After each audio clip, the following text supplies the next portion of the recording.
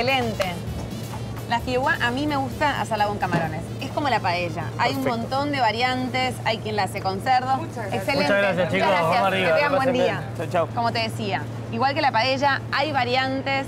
eh, hay también distintos orígenes, viste que en No, España, al ser todas las localidades tan gastronómicas, siempre de alguna manera se disputan recetas. Entonces, a mí por lo general me gusta eh, guiarme por quién me la enseñó, tomar nota de esa receta y como que continuar eh, ese viaje, ¿no? Total. Si después, o sea, yo hoy voy a preparar una fideuá catalana, pues me la enseñó mi primo Jordi, que es el esposo de Cristina, mi prima, y es un gourmet, ¿viste? Cuando los nenes tienen tres años Hay una diferencia y muy comen grande. pescado, comen todo. Claro, hay diferencia muy grande entre valenciana, catalana. En cada lugar eh, te van a decir que es local y te van a dar su propia receta. Entonces yo hoy te puedo decir que esta en Cataluña está así totalmente certificada, pero no me cierro a que, por ejemplo, eh, Diego Nadal vivió, un productor nuestro, vivió en Cataluña y también tiene su receta ya con fideo más grueso. Claro. Yo en, en casa de, de- de la familia Carrera en San Juan de Espí la hacen con el cabello de ángel. Bien Que- finito. bien finito. Que es muy delicado también, ¿no? Hay que tener mucho cuidado. Se pasa muy rápido. Se pasa el toque. Se y hace vuelve y se a ser un plato campesino, como hemos hablado en otras ocasiones, que se terminaba haciendo con lo que había en el mercado, con lo que se encontraba y con también lo que sobraba. Total. Yo a mí siempre, eh, siempre, no he comido mucha fideuá, pero bueno, tuve la oportunidad de comerla en España y... ¿En dónde la comiste? No recuerdo ahora porque estamos de gira. ¿Y zona, Estamos, aprox? eh, seguro que tiene que haber sido... Es muy probable que haya sido Valencia. Valencia. Sí, Bien, bien, Es bien. muy bien, probable que haya sido Valencia, sí. De hecho, nosotros estábamos viajando con una cocinera que iba Opa. comprando los productos y cocinaba en el Placer, momento. Y lujo. fue un, un Llévenme la próxima si. Increíble. Porque además hizo eso, hizo una fideuá, hizo una paella como de tierra, Claro. mar también, con conejo, con cerdo, con camarones. Se usa mucho la combinación Sí. surf and turf, que Sí. es tomar de la tierra y del mar. ¿Cómo es que se dice? Surf and turf. Mirá, no la tenía Es del turf y el surf. Mirá, no la- no- es como la- una combinación clásica cuando, por ejemplo, haces un plato que lleva lomo, pero que va con una reducción de camarón. Claro. Ponele. Bueno, ella nos decía, en verdad, que, que en la fideuá, igual siempre, eh, o sea, no, no está mal visto, obviamente, que el, que el fideo esté un poquito pasado. Es como Claro. una- eh, eh, está bueno, le, le aporta una textura. Sí, de hecho, eh, No en es la paella mismo se, se valora mucho y se dice que esa parte es para el cocinero, es el fondito, el socarrat. que Socarrat. es lo que se raspa de la paella, paella como instrumento de cocina, además de plato. Entonces, esa última parte es la más valorada y yo siempre digo que es la del cocinero. Hay un- el, hay que un- parte, el que reparte y reparte, Se queda con la mejor parte. el que parte y reparte. Hay un cocinero, David Muñoz, que me gusta mucho, que tiene... ¿David? David. David Muñoz. Me gusta y él hace una versión de la paella, en verdad, que una vez que la termina, eh, con un cucharón, vuelve a la sartén y, y la esparce toda. Y la quema el arroz con todo, la quema un poquito y después la dobla. Es una versión un poco más vanguardista. de- Como si fuera un crepe de paella. Guau. En verdad, entonces to- es todo socarrat así. Eso es algo que a mí me gustaría mucho, O mucho, sea, mucho. Todo quemadito. Pero es verdad porque ahí se mantiene todo. Ahí el socorrat es- son todos los jugos, todo, todo concentradísimo. concentrado, y a quemado. quien le todo. gusta la cosita dorada le va a gustar mucho. Así que la invitación de hoy es. Redondeado, dice Omar. Catalana. Y si se quiere traducir rápidamente, ¿qué es una fideuá? Es una paella, o sea, es técnica de paella, pero hecha con fideos. ¿sí? Exactamente. Así exótico y extraño como suena, te invitamos ya mismo a entrar a la cocina porque yo creo que es un sabor que se puede adaptar muy bien al paladar uruguayo. Totalmente. Y el Delicias. alioli, ni te digo. El Vamos, alioli, pero es una Ah, cosa de loco. bueno, y vamos bien a hablar, power. qué bien. Bien power.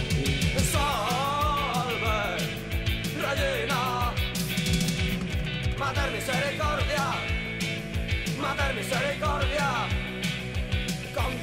Económico es control del poder,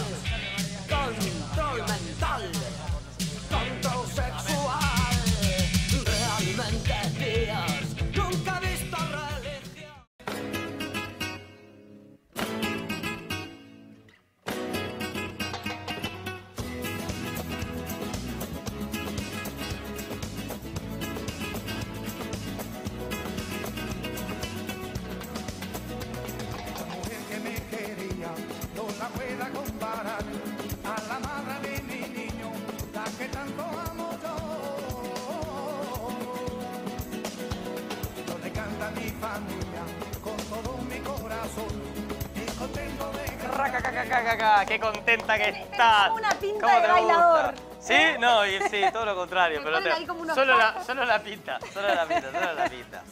Bueno, qué buen momento, ¿eh? Qué lindo, cómo me gustan estas cocinas. Algo esta muy comida. placentero es lo que estoy haciendo yo.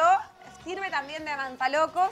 Y pensarán que estoy loca, porque si viene un italiano y me ve cortando la pasta, me dice, ma qué Ni cosa. ni la- oh. Ma qué cosa. Cuando, oh, no, no, que es muy largo, entonces los cortan, ¿viste? Ay, Para me duele, me duele bueno. la vista cuando pasa eso. Pero bueno, en la fideuá es apto hacer esto. Eh, importante tener en cuenta que hay distintas recetas de fideuá. Por eso cuando hay una paella o una fideuá, uno no se puede poner como muy dogmático si hay otra persona que la está preparando. Porque si sabe que está haciendo y está segura, dejarla hacer. Porque hay muchas recetas. Es como si dijeras, a ver, que un chivito, no un canadiense, un chivito a nivel genérico tiene que tener solo No, tal y tal. A partir, las recetas también se crean como Pero- las reglas. pero te lo llevo, para claro. ser después variadas. Pero en las casas a la- en donde también los guisos, guiso de lentejas, los- cada uno le agrega, hay gente que que le pone puchero le chorizo, pone. para que le pone Ah, que le le pone morcilla, que le pone esto, Yo le le pone pongo gran masala. Claro, le por pone ejemplo. leche, ponele. Y bueno. Entonces, la que yo he comido eh, desde un comienzo es la fideuá con cabello de ángel. Hoy ven que tengo esta otra pasta que es más gruesa, que tiene mm, abierto el centro. No, eso me encanta. ¿eh? Van a tener hoy esta variedad que es con el forati, como se llama en italiano, el forat, que es el cabello más grueso que tiene el orificio, que la tradición español, eh, italiana dice que el orificio lo que sirve es para recoger salsa, para poder llevar como la proporción de salsa correspondiente al bocado de fideo. Por lo general, en España ya te venden los fideos partidos. Acá yo, cuando lo hago con fideo de ángel, compro el nido directamente y lo parto a mano.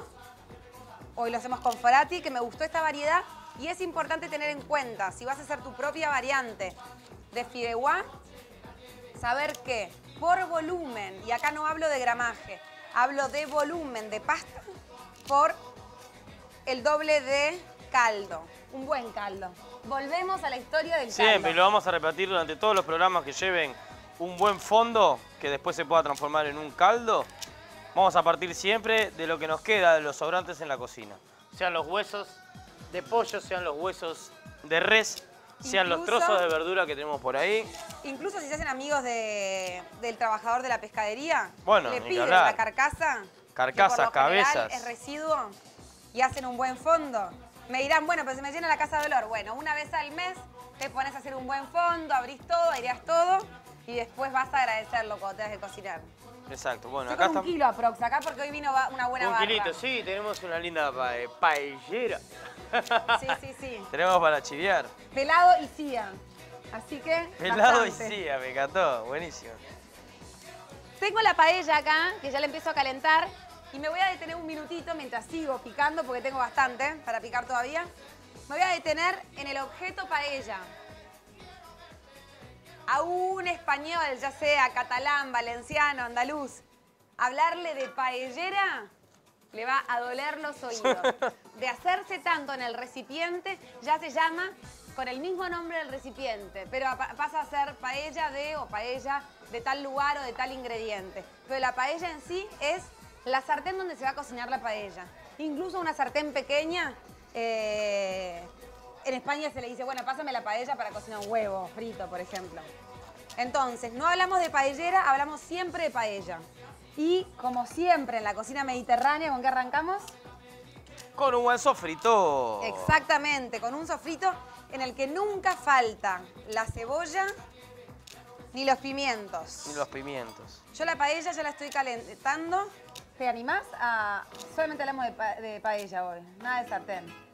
¿Eh? Solo de paella, bien, perfecto. ¿Sí? ¿Te sumás a la movida? ¿Cómo no? Porque la gastronomía también es cultura, es información y está bueno aprender e incluso cambiar metodologías o nombres que teníamos incorporados. Total, está perfecto. Me gustan mucho los Gypsy Kings, ¿sabías que, que- ¿Sí? Bueno, en casa se, se usó mucho, siempre escuchar esta música Y, y me hace acordar. Ay, me me hace acordar estar en casa así medio contenta. O también me hace acordar el momento de casamiento. ¿no? Bueno, ni que hablar, es como... Que pasa alguno con la corbata. Es como un de momento hincha. auténtico de cadete también. eh, Está dentro de todo ese momento. ¿no? Está dentro de todo ese momento. Así que... Ya no soy. Bueno, un buen volumen de fideos que tengo. Paella caliente. Uh, sí o sí me usás un buen oliva, ¿eh? Qué rico. Entonces, voy a arrancar. ¿Y con qué vamos a arrancar? Voy a arrancar con los camarones Ay, que va. voy a sellarlos y los voy a retirar. Los sello con el mismo aceite con el que voy a sofreír para aprovechar el sabor. Pero los retiro para no sobrecocinarlos. Bien. Los dejo bailar en un buen oliva y que solitos vayan liberando su aroma.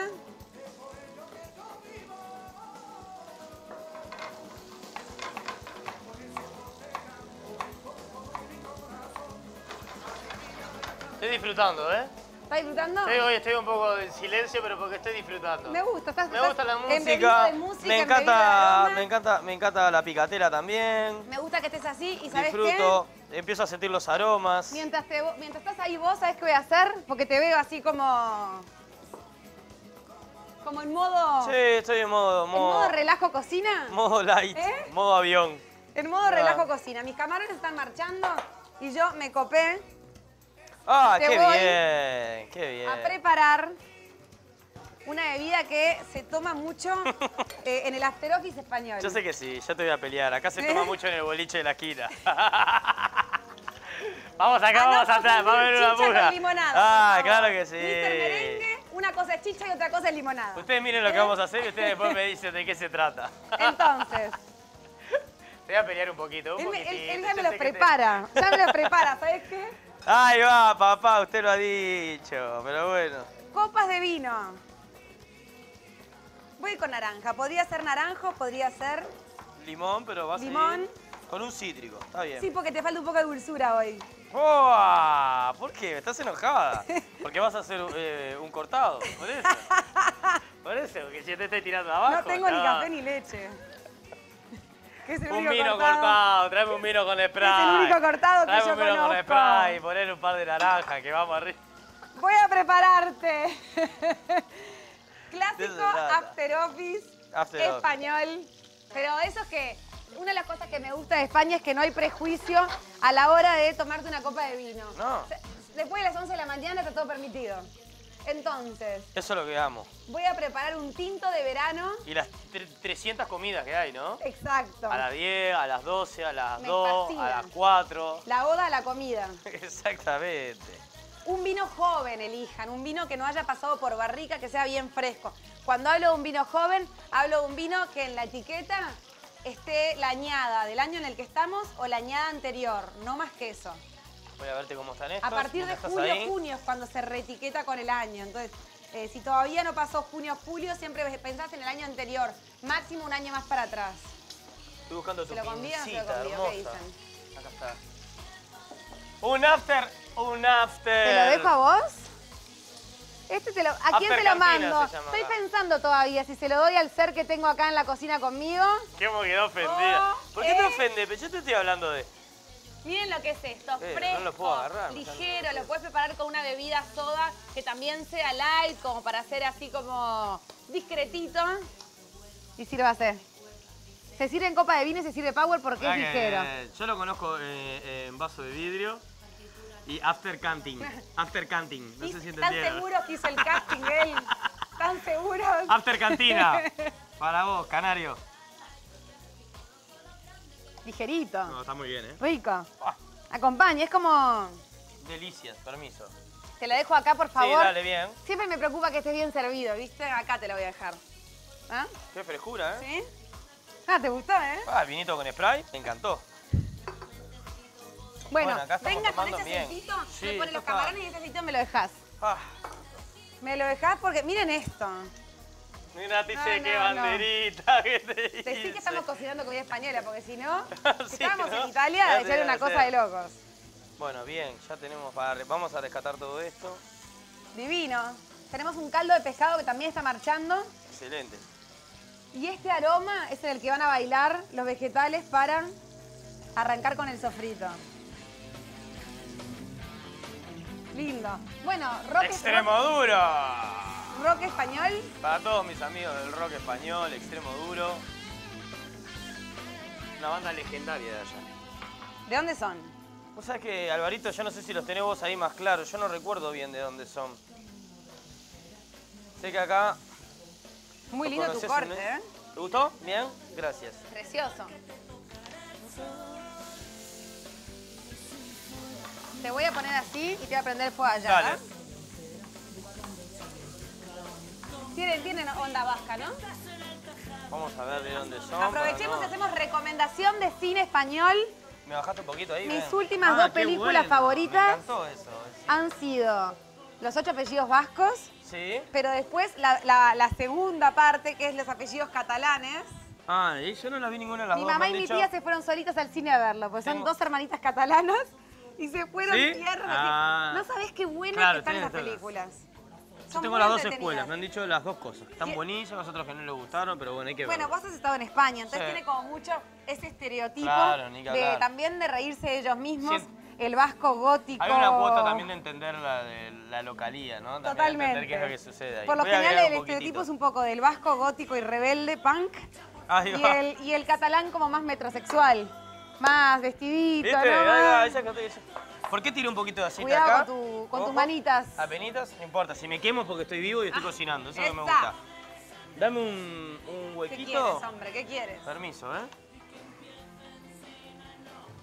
Vamos con el, con el pimentón. Con el pimentón. Hacemos un huequito en el diome. Apenitas. Venga con el pimentón.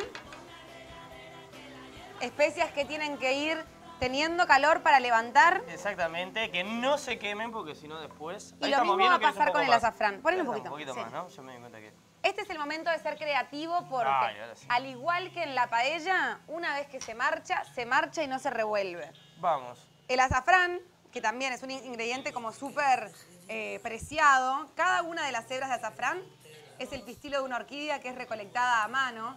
Por eso es que es un, un ingrediente costoso que muchas veces es sustituido por polvo de color y aroma a y que para aprovecharlo de verdad tiene que estar en contacto con calor. Sí. Entonces, a mí me gusta ponerlo directo en la paella. A mí también.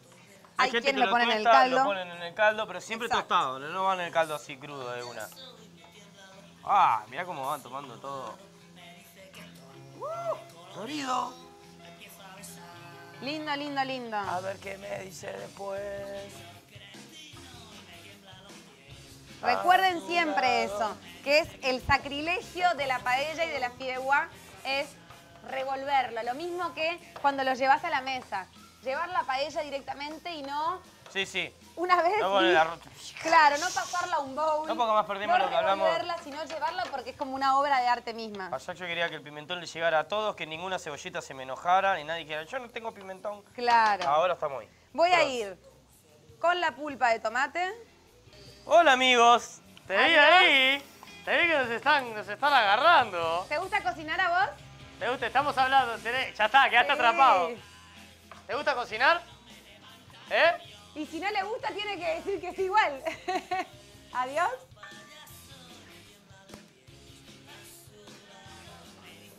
No, no, no, no, no, no, no, no, no, no. Solo, vos decime, ¿estudiaste cocina? ¿Te gusta, te gusta cocinar? Sí, ¿Sí? ¿Estudiaste? ¿Dónde estudiaste? en la- en una escuela que iba. Mira. ¿Y qué un plato que te guste hacer? Cualquiera. ¿Qué, qué, qué te gustaría? Si ahora llegas a tu casa y querés hacer un plato. Paté de carne. ¡Opa! Pastel de carne. Sabe. Bien ahí. Bueno, un placer. Pastel de carne. Es la, es la- la especialidad. Es la especialidad. Si llegas a tu casa, ¿qué haces ahora? Pastel de carne. Me encantó. Tengo Ah. sofrito listo, agregué pulpa de tomate. ¿Cómo se llama? Perdón que no le pregunté. Gabriel. ¿Y la hermana? Divino Gabriel. ¿Y la hermana? ¿Cómo se llama? Te vamos a dar un beso nomás. Natalia. Ahí estamos bien, Natalia. ¿no? Besos. Vamos arriba. Qué buen Adiós. momento. Tengo este sofrito marchando de una forma maravillosa. Esta es la tuya. Ah, yo ya vi, yo vi algo ¿Viste el que... típico que vos no tomaste y de repente tenés el vaso Yo vi, yo vacío? vi, yo vi, yo vi. Siempre hay uno de esos en las fiestas que va de copa en copa picoteando, ¿no? Bueno, cómo lo agarro, para... qué sofisticado. Te faltó el dedito. Oh, mirá, tengo el dedito. Como le gritaba Bob Esponja a Patricio cuando estaba adentro de eh, eh, la casa de Arenita. ¿Bob Esponja lo tenés? Lo tengo. Con camarondo. Ah, y bueno. Estaba tomando y le gritaba a Bob Esponja, por favor, levantá el pulgar para que quede chuli. Para que quede bien. Y hablando de fineza, fineza es esta guitarra de Paco de Lucía. Ah, exactamente. Perdón, me, me Es hacen, la guitarra del mundo para mí. me hacen me como... ¿Cómo qué? Nada, ¿Con estoy hablando de Bob? Esponja y me atravesaste con Paco Lucía, así. ¡Crack! Atravesado. Un grande, la, diversión de la cocina, lo ecléctico. Tengo el sofrito marchando y voy a empezar a agregar ya los fideos que voy a medir el volumen en tazas. Y yo te voy a poner...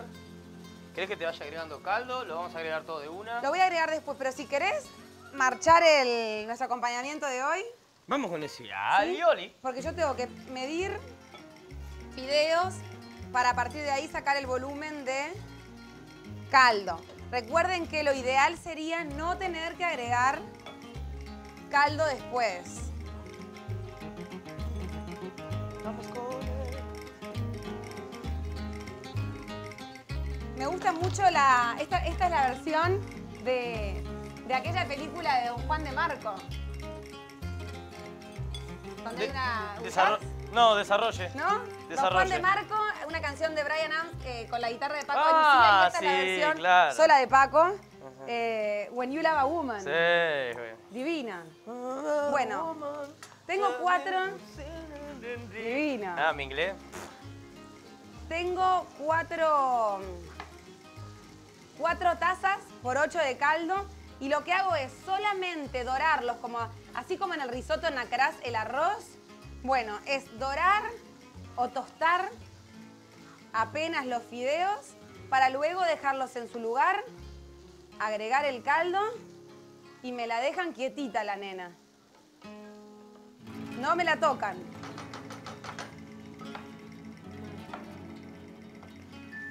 Bueno, y para acompañar, vos sabés que yo nunca lo acompañé con alioli, ¿no? ¿Nunca lo comiste con No, alioli? el alioli siempre lo comí como hablábamos, como un dip, ¿viste? O como, bueno, a veces en alguna tapa. Pero nunca lo había acompañado, nunca había acompañado fideuá con alioli. Una ¿Sabés vez más, me tiro a la piscina. Tirate a la piscina porque te va a fascinar, estoy segura. Un alioli que fue- ha ido mutando también, ¿no? Antiguamente esto se hacía directamente con el ajo y el mortero. Se machacaban, se machacaban, se machacaban hasta formar una pasta. Un poquito de aceite, pero no llevaba nada más. No era una emulsión así a, a huevo, aprovechando el huevo. Era el alio e olio. Exactamente. De ahí viene el nombre. Exacta- Pero la realidad es que en Mundis. España se, se- se usa mucho hacer este alioli más cremoso, en el que se incorpora huevo y para mí es de las cosas más grandes que hay. ¿Sabes que una de las cosas que marca como mucho la, la cultura española, la cultura catalana de no tenerle miedo a nada? Fui a un casamiento, de plato principal había fideuá, había, bueno, había como varias, varias paellas con fideuá, con paella valenciana, con alioli, y vos en Uruguay pensarías, pa, después todo el mundo en la fiesta con aliento alioli. Alioliando. Ellos no se hacen problema de nada, o sea, era un eso- casamiento, todo el mundo como muy bien vestido, muy arreglado, pero la comida no me la toques. Claro, no, eso es lo divino, No voy a dejar de comer un, un ajo Exactamente. para no. Es como, Exactamente. como decimos ¿viste, en las parejas, bueno, si lo hacen los dos, bueno, hay todas las fiestas Y con si no, bueno, hoy, hoy te tengo que cambiar por el ajo, lo siento. Pero bueno, si los dos podemos acompañarnos. La fideuá ya la dejé marchando. Y acuérdense que los camarones los voy a poner al final por la única razón de que no quiero que se me sobren cocino- cocinen los camarones. Los voy a incorporar, ya tenemos gustito, ya están doraditos, pero al final los coloco para ya llevarla, o sea, un minuto antes de cortar la cocción. Los productos del mar siempre las cocciones se recomienda o muy rápidas o en el caso de algunos calamares o algo, unas cocciones prolongadas y lentas. Es, es difícil ir sacándole la movida a veces. Siempre lo mejor es una rápida cocción y no pensar de que "Ay, me están quedando crudo. No necesitan más de un minutito por lado Exacto, exacto. y hacia afuera. Bueno, ¿Te pongo un poquito de sal ahí? ¿Cómo no? Alioli cremoso, alioli de estilo español. Dos ajos, un huevo. Power. Ya, bien. Exactamente. Ahí. Mi primo tenías- Jordi sí. le echa apenas un chorrito de vinagre también ¿Sí? a la emulsión. Vinagre, no limón, no es, lo- no es como... Le, le echa vinagre y le echa las dos partes. De oliva, ¿ya, ya tenés el oliva ahí o te pasa el No, oliva? no, no, no tengo nada. Ahí tenés el de girasol. Tengo, no, no tengo nada, tengo un huevo el y ajo, bien. nada más. ¿Voy? Sí, Partís con una parte del aceite porque la segunda es la que vas a agregar en forma de hilo durante la cocción. perfecto. ¿Se Está puede decir bien. la polla? Claro que sí. Si ese es Estamos en España y estamos escuchando la Polla Records. cuando tú digas. Arranqué con Tutti. Emulsión que no es más que lograr una forma homogénea a partir de un producto oleoso y uno líquido. En este caso el oleoso el aceite y el líquido el huevo. Jimé me pasó el pique anteriormente de no estar levantando el mixer. De tenerlo acá, ¿verdad? De que solito vaya agarrando el aire necesario para lograr la textura de emulsión. Yo que mientras terminamos acá juntitos, escuchando la polla y haciendo este alioli, nos vayamos a una pausa. Perfecto, yo me quedo acá ¿Te hasta parece? que vos digas. Nos vamos este a laburo una... de a dos. Y volvemos con más delicias en la vuelta al plato.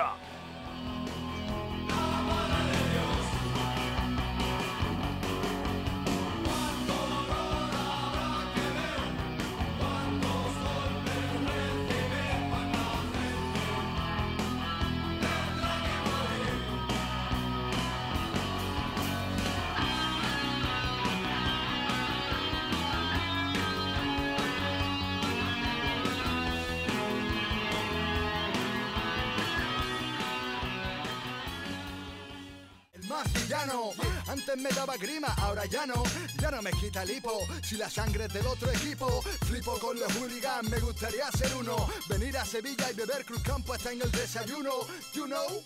Momento inoportuno, vienen tres musulmanes y me hacen un pincho moruno. Abuchea.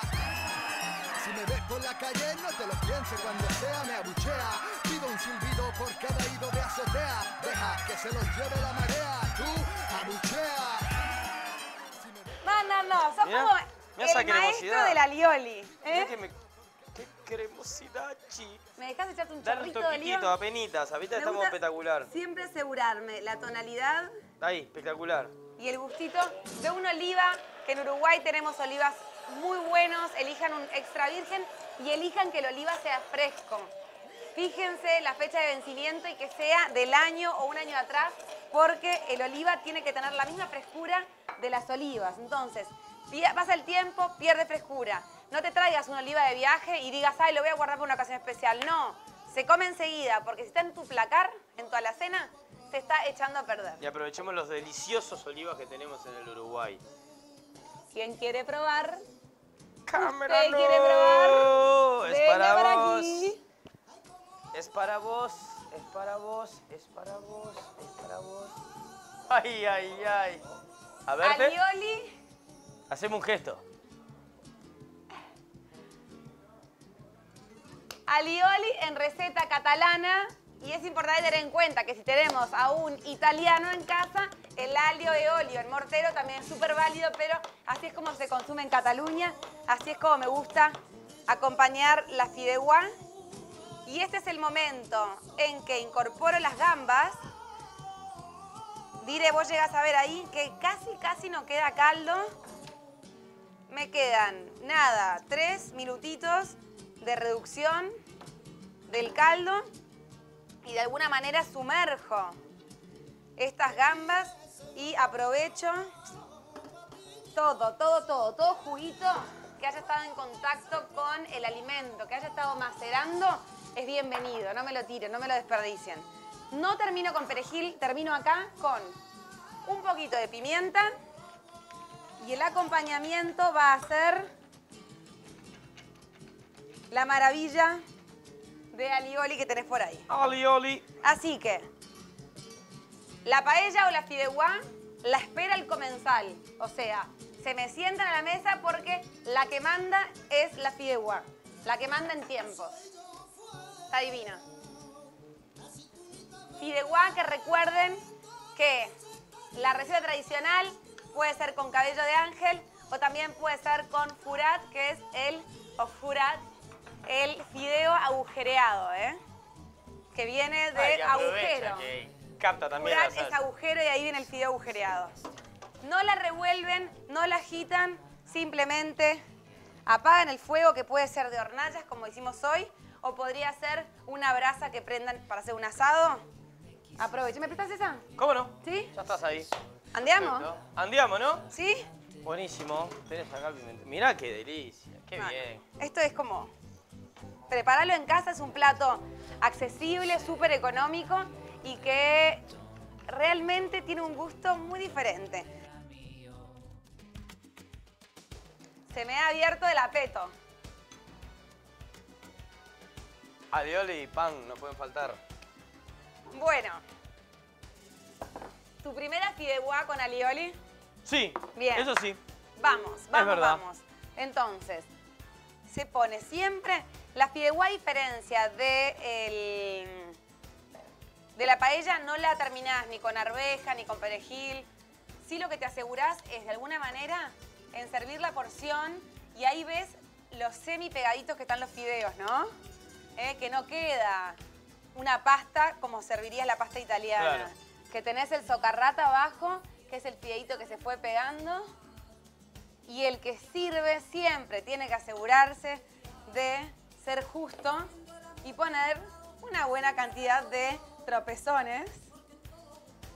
Y el tropezón, Mirá qué interesante. además del ¿eh? camarón, va a ser ese gustito que dejás como de cada uno vaya mezclándolo solito. Delicias. Muchas gracias. ¿Cómo estaban estas hermanas españolas en una época que estaban hechas un fuego, no? La de azúcar moreno. Las azúcar moreno. Eran un fuego. Mirá qué momento. Ahora voy a agarrar. No se supo más de ellas. ¿O sí? No, yo no, la verdad no supe. Ni sabía en el momento. Pero después. Otra fotito más para nuestra colección de foticos para recordar este hermoso programa que lo voy a recordar siempre con mucho cariño. Delicias. Lo sienten, no ¿no? Se traslada en casa, ¿eh? se traslada ese aroma, ese ajo, ese tomate, ese pimiento, ese viaje a España en un plato. Una vez más. ¿Sí? Una vez más viajando. Un placer, amiga. Un placer y también para aquellos eh, ortodoxos de cada región española, aclarar que nos gusta agarrar un poquito de cada lado, Totalmente. ¿no? El tinto de verano, la, la fideuá, el alioli, porque en el fondo casi todos tenemos un tío, un abuelo, alguien que vino de allá. Exactamente. Así que está bueno nos podemos como- emocionar con diferentes cositas. Y meterlo en nuestra propia cultura. Total. A partir de ahora es Salud. un plato nuestro. Vamos arriba.